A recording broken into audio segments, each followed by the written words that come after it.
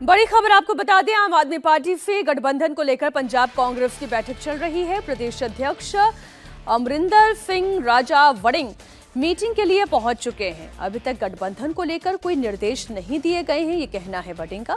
सभी तेरह लोकसभा सीटों पर तैयारी की जा रही है।